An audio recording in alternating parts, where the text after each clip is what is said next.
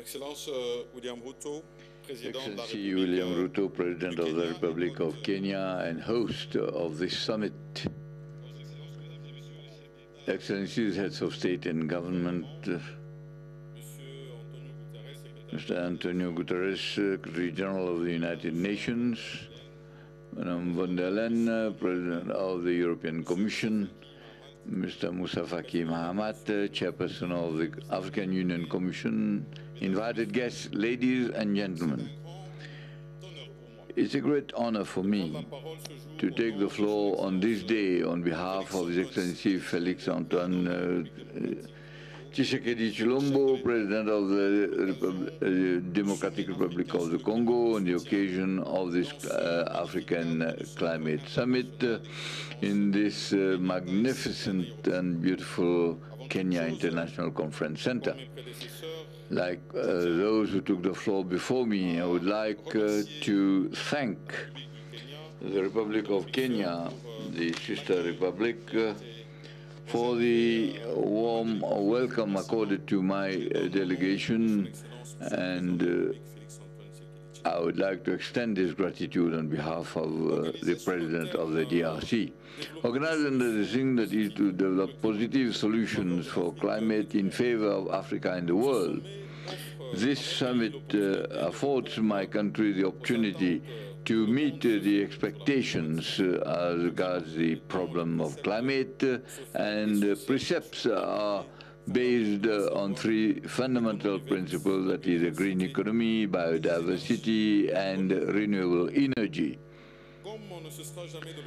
As we can no, not uh, overemphasize that uh, the DRC is a kind of solution country which imposes uh, on the world because of its potential and innumerable assets, uh, which uh, is an undeniable contribution that is there for the conservation of nature.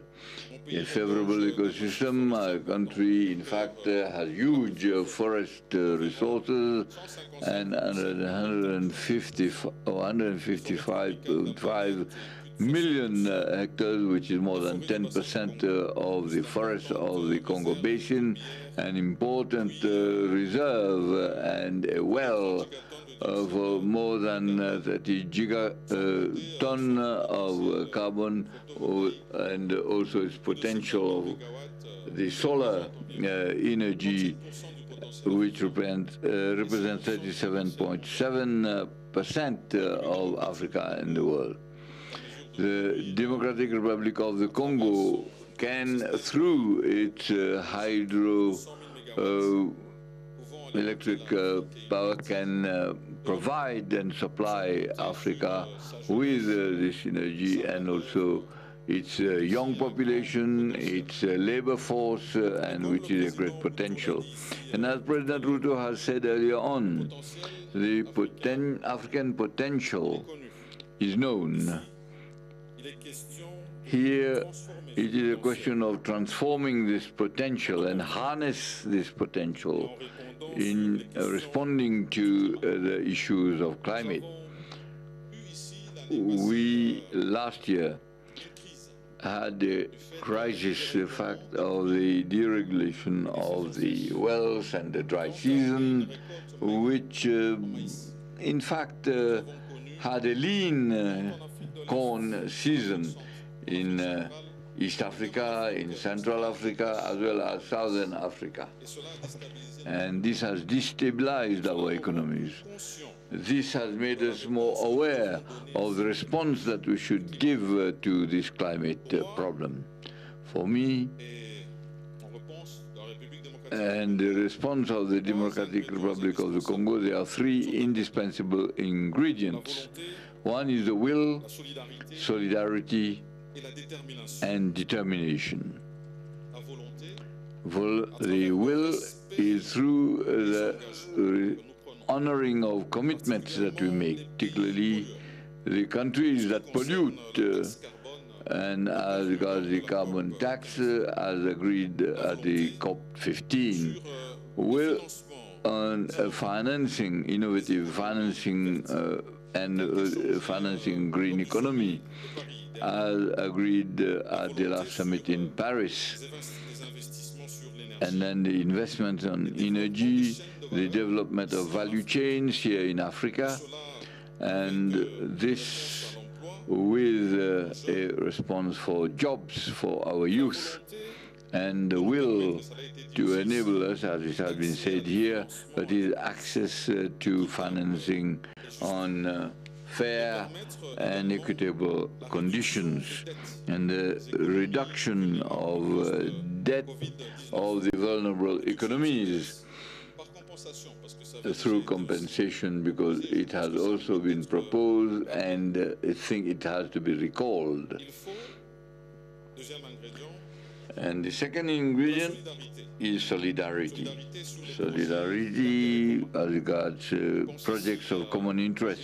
I'm here think, thinking of uh, and referring to energy, green energy, the needs in energy and the peoples who live in the forest and also thinking of the Inga Dam and integrating a project and we are open to proposals so that we need the efforts of each and every one.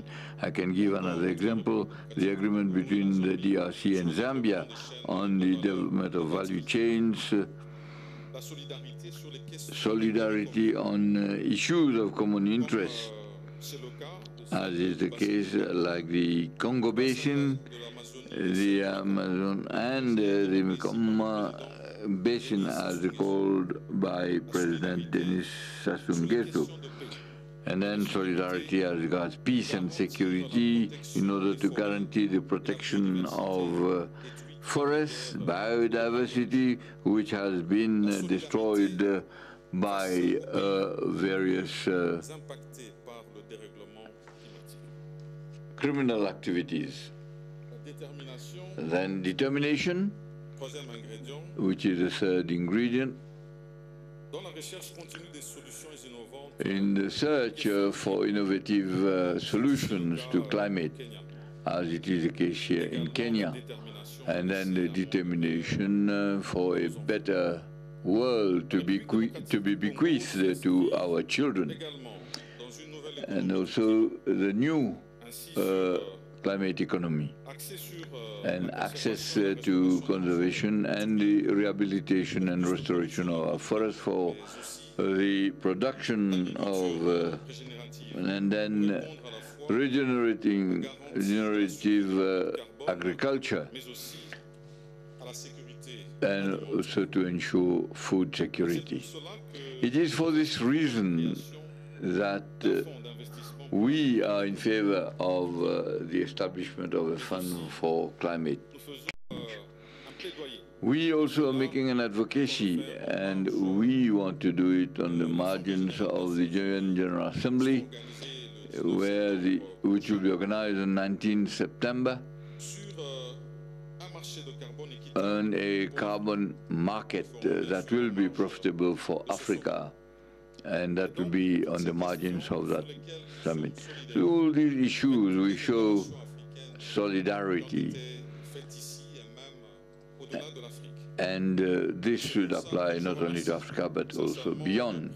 I sincerely want to thank President Ruto and all the participants uh, for this opportunity that is afforded to us uh, through this summit, uh, which will contribute uh, undoubtedly to all the meetings on climate. I want to thank you all. Thank you very much, my brother Sama, for your comments. And um, another round of applause for my brother Sama. Let me ask um, that we now prepare the clip from my sister